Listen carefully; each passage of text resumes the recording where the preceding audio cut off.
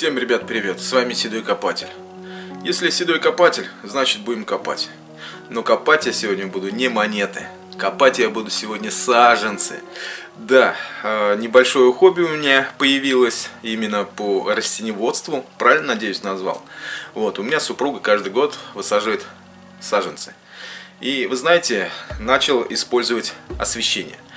А, пока вы это видео не посмотрите, ни в коем случае освещением не пользуйтесь.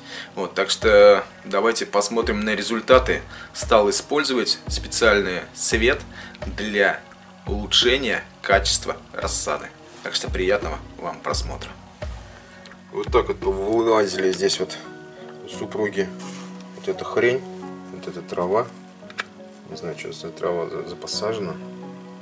Половина повылазила половины нет. Здесь еще все чисто. Они хотят что-то пробивается. И здесь тоже слегка. Все находится на обычном подоконнике. Решил поставить вот эту систему освещения. И хочу сделать эксперимент. И этот горшочек оставить под освещением, а этот просто оставить на подоконнике при обычном освещении. Здесь они как бы такие вытянутые, ну здесь немного они посильней, чем в этом. И хочу сделать эксперимент. Это оставить под этим освещением, которое я тут установил на окно. А это в другую комнату на подоконник. Посмотрим, что будет через неделю. С этим и с этим. Сделаю сравнение. Через неделю включусь. Вы знаете, ребята, как я обещал вам показать через неделю, ну, супруге очень стало жалко вот эти вот растения, которые у нас стояли просто на подоконнике. А эти у нас стоят непосредственно вот под этими вот лампами.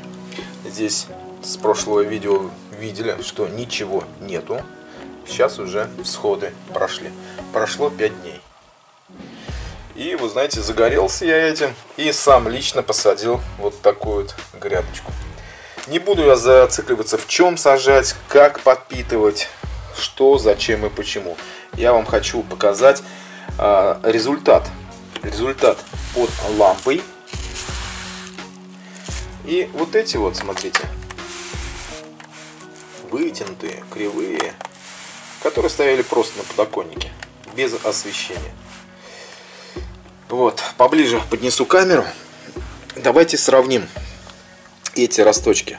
Смотрите, у них какие твердые стебелечки. Листики зеленые, ровные. Здесь же, смотрите, тоненькие, худенькие. Листочки махонькие, да еще немного светлее, чем обычные. К чему я веду? Лампы все же помогают. Какие использовать лампы, конечно, нужно вам на ваше усмотрение.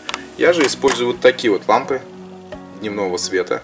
Работают они у меня с 7 утра до 8 вечера. То есть нужно соблюдать временной цикл.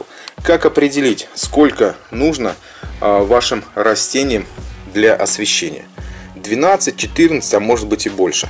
Нужно обращать внимание по листикам. Если листики развернутые, полностью видите, вот развернутый листик, значит им освещение недостаточно. И освещение нужно увеличивать. Сейчас утро, вот они после ночки. И ближе к вечеру они начнут э, немножко подниматься. Эти же всегда в развернутом виде которые стояли на подоконнике. Результат, конечно же, на лицо. Видно все зачетно. Освещение элементарное. Плюс я вам сейчас еще покажу, как говорится, ноу-хау, который стоит у нас в розетке.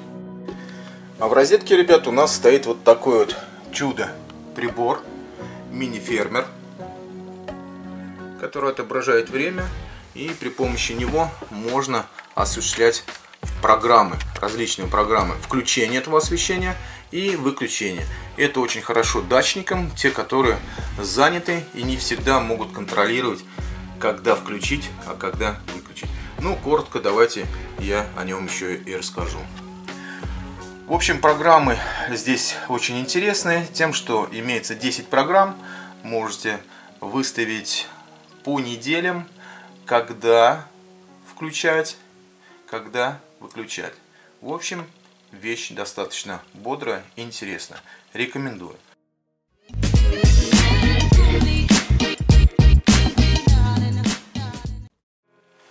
Пожалуй, вот на этой нотке я, пожалуй, и закончу свое короткое видео. Надеюсь, вы из этого видео немножко почерпаете, что освещение для саженцев обязательно. Здесь у нас помидорка, здесь у нас перец. В общем, скоро и это все пойдет на грядки. Так что имейте в виду, если кому-то заинтересовало это освещение, также программатор включения-выключения, обращайтесь, ссылочку буду указывать. Ну а здесь у нас скоро под пленочкой тоже появится. Нет, еще не появилось нет, рановато еще. Будем ждать, будем ждать.